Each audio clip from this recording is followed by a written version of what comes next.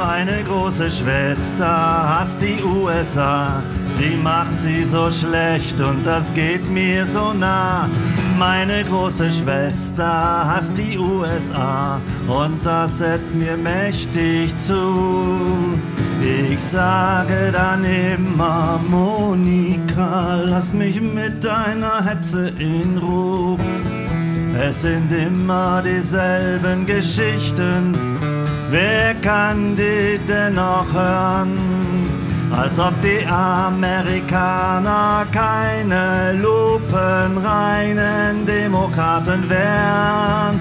Ausgerechnet die Amerikaner, die setzen sich überall dafür ein.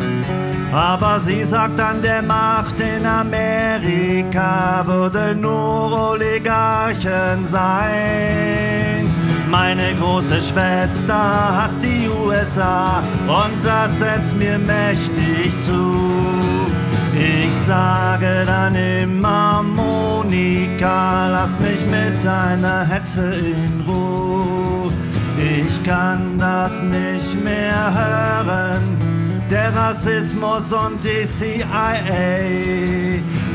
Waffenlobby und das Frackingöl, mir tut das in der Seele weh.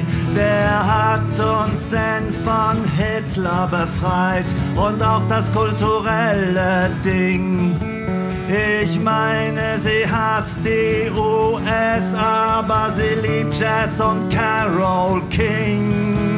Und sie findet sogar Bob Dylan gut und die Indianer ohnehin. Das ist doch alles nur Folklore, wie angewidert ich bin.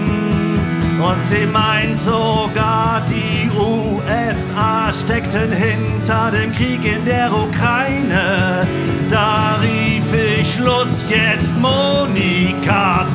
scheuer ich dir eine. Wer profitiert denn von der Katastrophe? schrie sie ganz laut zurück. Ich habe sie nicht geschlagen, ich bin Feminist zum Glück. Meine große Schwester hasst die USA. Sie macht sie so schlecht und das geht mir so nah. Meine große Schwester hasst die USA und das setzt mir mächtig zu. Ich sage dann immer, Monika, lass mich mit deiner Hetze in Ruhe.